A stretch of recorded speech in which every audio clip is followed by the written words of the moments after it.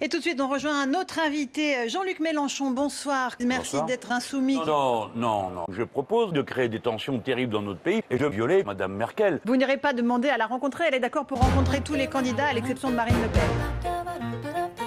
Eh bien, écoutez, je rencontre mon ami Oscar Lafontaine et voilà qui me suit sur la sollicite le plus profond. Bon, c'est bien, on est content. Hein et puis vous avez ensuite Monsieur Macron qui va être, qui va dire, bah, c'est chacun pour soi et puis l'argent pour moi parce que, en gros, c'est notre famille idéologique. C'est, je ne peux pas inventer de l'argent. Donc déjà, c'est con. Un dernier mot de Benoît Hamon, justement, votre concurrent de gauche. Il enregistre un certain nombre de déjections. euh, Bah, j'espère bien. Il faut d'abord commencer par euh, discuter euh, sérieusement. Bon, nous avons une relation avec les Allemands qui est une catastrophe. Déjà, je commencerai par détruire les Italiens, les Espagnols, les Portugais. Ça veut dire que si vous n'avez plus d'emploi, on peut lui dire au revoir, tu peux rentrer à la maison. Donc, nous allons à la catastrophe avec le sourire.